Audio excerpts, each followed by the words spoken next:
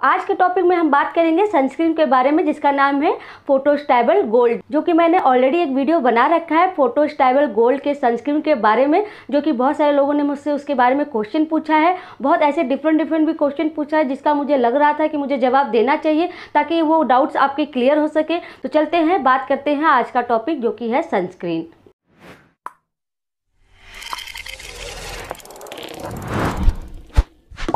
hello everyone welcome back to my channel मैं हूँ ज्योति और आप देख रहे हैं information and guide no fake no wrong only right information and guide ये है सनस्क्रीन जो कि आप देख पा रहे हैं स्क्रीन पे। ये है फ़ोटो स्टेबल गोल्ड सनस्क्रीन, जो कि ये एक मैट फिनिश में आता है। इसी के रिगार्डिंग मैंने एक वीडियो बनाई है, जो कि मुझे बहुत सारे ऐसे क्वेश्चन आ रहे हैं इसके रिगार्डिंग, और जो कि बहुत सारे डाउट्स हैं, वो मैं आज इस वीडियो से क्लियर कर दूँगी। तो बारी बारी में सारे क्वेश्चन आपके सामने पढ़ूँगी, और वो डाउट जो भी होंगे, वो मैं एक एक करके क्लियर कर दूँगी। तो वीडियो को ज़रूर पूरा देखें, ताकि आपको हमारे वीडियो से वो जो सारे डाउट्स हैं, वो क्लियर हो सके।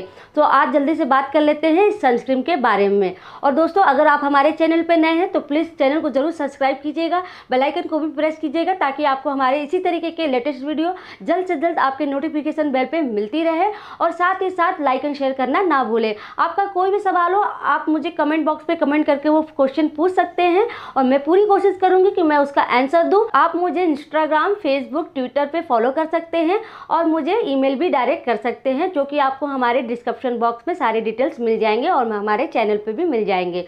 तो जल्दी से बात कर लेते हैं। आज का जो हमारा टॉपिक है फ़ोटो स्टाइबल गोल्ड सनसिल्क के बारे में। तो जल्दी से आज का क्वेश्चन मैं पढ़ लेती हूँ। जो पहला क्वेश्चन आ रहा है दया शंकर मौर्य जी का, जिन्होंने लिखा है, मैम, इस क्रीम को लगाने के बाद क्या हम पाउडर लगा सकते हैं? तो देखिए, ये एक सनस्क्रीन है।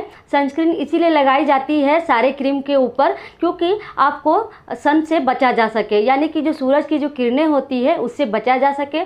जो उसकी रेज निकलती है, जो आपके चेहरे पर ना पड़ के, उस क्रीम पर डायरेक्ट पड़े और आपका फेस सेफ़ रहे, इसलिए सनस्क्रीन लगाई जाती है। अगर आप सनस्क्रीन लगाने के बाद कोई पाउडर लगाते हैं तो वो बिल्कुल आपका असर नहीं करेगा। तो ऐसा बिल्कुल ना करें कि कोई आप सनस्क्रीन लगाने के बाद उसके ऊपर पाउडर लगाएँ तो वो काम नहीं करेगी, वहाँ पे वो फेल हो जाएगा। तो ऐसा बिल्कुल ना करें। दूसरा क्वेश्चन पूछ रहे हैं काजल जी। काजल जी लिखते हैं कि, मैम कलर फेयर होगा या नहीं?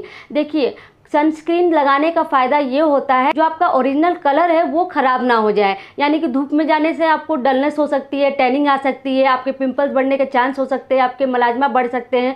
इसलिए हम लगाते हैं सनस्क्रीन अपने चेहरे पे। बट इससे हम गोरे नहीं होते हैं, बल्कि अपना जो कलर है हमारा ओरिजिनल उसको सेफ़ रखने के लिए हमें सनस्क्रीन लगानी पड़ती है। तो आई होप सो कि ये आपको क्लियर हो गया होगा डाउट कि सनस्क्रीन लगाने से कोई गोरा नहीं होता है फेयर नहीं होता है। अनिल तावर जी ने मुझसे पूछा है कि मैडम, इसके साथ कौन सा वाला फेस वॉश यूज़ कर सकते हैं? तो इनसे मैंने बात की थी अनिल तावर जी से तो इन्होंने बताया था कि इसकी स्किन ऑयली है तो मैंने इनको रेकमेंड किया था। तो आई बटन पे मैंने दे दिया है, आप वो जाकर फेस वॉश देख सकते हैं ऑयली स्किन के लिए, वो बेस्ट होगा आपके लिए।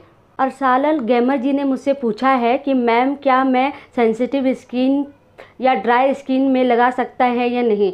तो जी हाँ ये सेंसिटिव स्किन के लिए भी बेस्ट है ड्राई स्किन के लिए भी बेस्ट है। आप इस सनस्क्रीन को यूज़ कर सकते हैं। शेख शाहूर जी ने मुझसे पूछा है, अगर 12 घंटे तक ये है तो क्या तीन बार लगाना ज़रूरी है? इनका पूछने का मतलब ये है कि क्योंकि मैं हर बार रेकमेंड करती हूँ कि आपको सनस्क्रीन दिन में तीन बार ज़रूर यूज़ करना चाहिए। तो ये मुझसे यही पूछना चाह रहे हैं तो क्या ये तीन बार लगाना ज़रूरी है सनस्क्रीन को? जबकि बारह घंटा दावा करता है सनस्क्रीन कि ये अप्लाई करने से आपका स्किन में रहेगा। तो ये बात सही है, लेकिन उन लोगों के लिए ये नहीं है जो लोगों के चेहरे पे बहुत सारी दिक्कत आ गई है। जैसा कि मैं हमेशा बोलती हूँ पिगमेंटेशन मलाजमा एक्ने पिंपल्स ऐसे सारे स्किन के लिए 12 घंटे वो वर्क नहीं करता है। आपको दिन में तीन बार ज़रूर लगाना चाहिए। अगर आपका स्किन में कोई दिक्कत नहीं है, तब तो आप वन टाइम लगा के इनफ है आपके लिए। लेकिन अगर कोई दिक्कत है आपके स्किन में तो बारह घंटा वो काम नहीं करेगा। आपको दिन में तीन बार ज़रूर लगाना है सनस्क्रीन ताकि वो आपके स्किन में जल्दी जल्दी असर ला सके और आपका स्किन ठीक हो सके। प्रियंका जी मुझसे पूछती हैं कि क्या ये डार्क स्पॉट के लिए अच्छा है या नहीं? तो देखिए सनस्क्रीन का लगाने का मतलब यही है कि जो आपके स्किन में डार्क स्पॉट के लिए आप कोई क्रीम यूज़ करते हैं या आप किसी भी तरीके के अपने स्किन में कोई क्रीम यूज़ करते हैं अपने चेहरे को ठीक करने के लिए तो उसके ऊपर सनस्क्रीन लगाना ज़रूरी होता है ताकि जो भी धूप की किरणें होती हैं, वो असर ना करके आपके फेस पर उस सनस्क्रीन पर असर करे और वो आपकी स्किन को जल्दी से जल्दी रिकवर कर सके। और इससे आपका जब स्किन है सेफ़ सेफ़ रहता है सूरज की किरणों से। अगर सूरज की किरणों से आपका फेस सेफ़ रहेगा तो जो क्रीम आप अप्लाई कर रहे हैं पिंपल के लिए, अपने एक्ने के लिए, अपने मलाजमा के लिए, वो जो क्रीम है, वो जल्दी असर दिखाएगी और जो आप सनस्क्रीन लगाते हैं ऊपर से उसके, वो उसको बचाने के लिए काम में आता है। अदिति परवीन जी मुझसे पूछते हैं कि can I use it under eye तो बिल्कुल भी नहीं, ये अंडर आईज यानी कि आँखों के नीचे यूज़ करने के लिए सनस्क्रीन नहीं होते हैं। हमेशा आपको इस एरिया को छोड़कर ही पूरे फेस पे अप्लाई करना होता है। सनस्क्रीन कभी भी अंडर आईज यानी कि आँखों के नीचे आपको सनस्क्रीन नहीं लगाना है। आपको हो सकता है आपके आँखों में दिक्कत परेशानी तो ऐसा ना करें। हैरी जी पूछते हैं कि ये क्रीम यूज़ करने के बाद फेस स्वेट करता है या नहीं? इनका कहने का मतलब ये है कि क्या इस सनस्क्रीन को लगाने के बाद पसीने होते हैं या नहीं? देखिए, पसीना होना एक नेचुरल चीज़ है। गर्मी होगी तो बिल्कुल आपको पसीना होगा। जिन लोगों को गर्मी हो या ठंडा हो, वो बारह मासी उनको पसीना होता है। तो ऐसे लोगों के लिए ये सनस्क्रीन बहुत ही बेस्ट है। मैं आपको बता देती हूँ क्यों बेस्ट है। क्योंकि ये सनस्क्रीन एक तरीके का वाटर प्रूफ जैसा काम करता है। चाहे आप जितना भी आपको पसीना आता है, ये सनस्क्रीन तभी आपके स्किन से जाएगा जब तक आप अच्छे से फेस वॉश नहीं करेंगे।